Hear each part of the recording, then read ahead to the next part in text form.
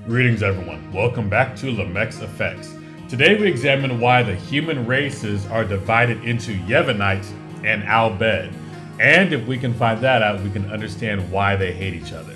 But first, like and subscribe, and share this with others you think will find this interesting. Now, let us begin.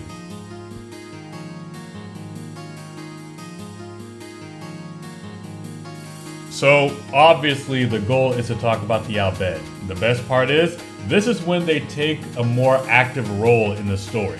So, since I always show a cutscene that will give us something to talk about, let's meet some Al Bhed.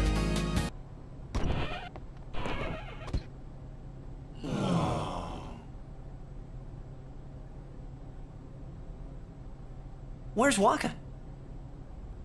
Let the matchup draws. We had to play the Goers in the first match last year. The year before that, and the one before that, too. Well, we would have lost to anyone anyway. Get Wakka! We're playing the Al Bhed Psyches first. If we win, we're in the finals. That's right, we got seeded. Two wins, and we're the champions. First things first. Let's go over the basics again, boys.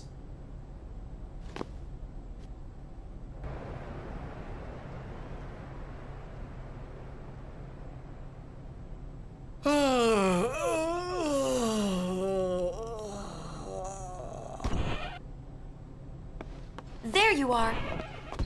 Someone said they saw Sir Auron in a cafe. Uh, Auron? Yes, Sir Auron. Let's go find him.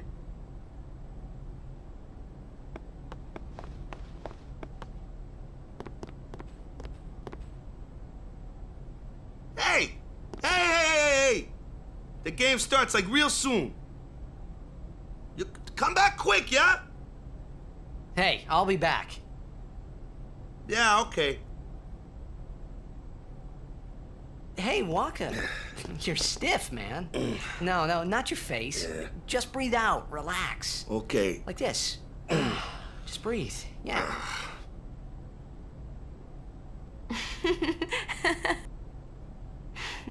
Maybe now we can find Sir Jecht. Huh? How? Sir Auron was also my father's guardian. So, he might know where Sir Jecht is. Let's go now. It didn't even occur to me to think that the Auron Yuna was talking about, and the one that I knew from Zanarkand could be two different people. I don't know why, but I knew it was the same guy. I knew it was the same Auron. Imito Sumana. Vasikna Bund! Hey! Al Bhed Psyches, right? Some Al Bhed saved me the other day, and this girl Rikku gave me food, and uh, you don't understand me, do you? Uh, uh, anyway, if you meet Rikku, tell her thanks for me.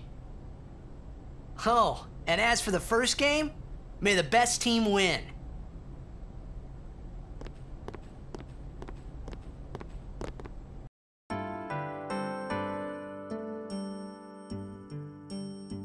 So, I will be open.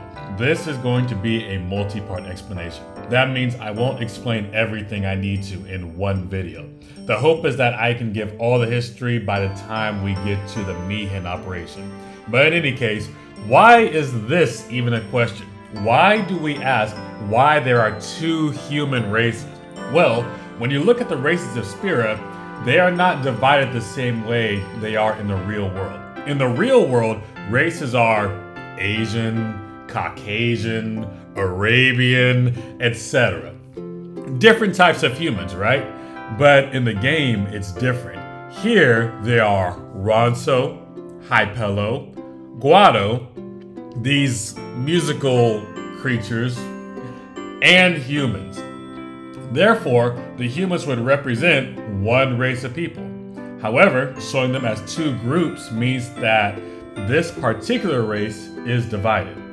We can actually find a biblical inspiration for that. You see, in the Bible, races are divided by who their father is Ammonites, Moabites, Hamites, Edomites, Ishmaelites. You get the idea. But we also have Israelites. Israelites were, like the humans in Spira, divided into two races. And what is another word for race? Nation. Let's get that definition. Okay. Ezekiel chapter 37, verse 22. And I will make them one nation in the land upon the mountains of Israel, and one king shall be king to them all. And they shall be no more two nations, neither shall they be divided into two kingdoms any more at all. So, according to this scripture, Israel was divided into two nations, two races of people. The same way the humans were divided into Yevonite and Al Bhed. Remember when I said in the last episode that humans represent Israel? Yes, this is how deep my proof got. Anyway, I stated that Israel was divided into two nations, but what were the names of these two nations?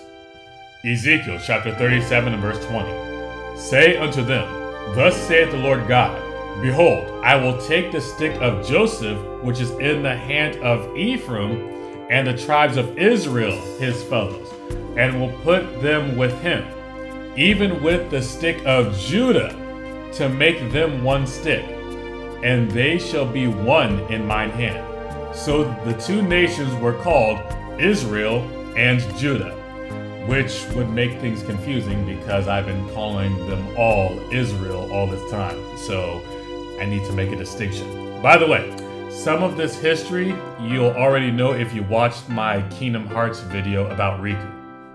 And with that, how will I distinguish these two groups? So from now on, when I talk about Judah, I'll either say Judah, Southern Kingdom, or the Jews. When I'm talking about Israel, I'll say Israel, Northern Kingdom, or Ephraim. I'll explain where I got those terms later. But for now, when I'm talking about the entire race, I'll no longer say Israel. I'll say Israelite. Why? Because the suffix ite, ite, means someone who descends from a certain man. So an Israelite is the child of any of the 12 sons of Israel. Also, Romans chapter 9, verse 4. Who are Israelites? To whom pertaineth the adoption and the glory and the covenants and the giving of the law and the service of God and the promises. Verse 5. Whose are the fathers and of whom as concerning the flesh, Christ came, who is over all, God bless forever. Amen. In short, I got the term Israelite from the Bible, and the Bible defines it as a person whose father is from the flesh and bloodline of Israel. Oh, speaking of division, I need to get how these Israelite nations were treating each other. Isaiah chapter 11, verse 13. The envy also of Ephraim shall depart and the adversaries of Judah shall be cut off.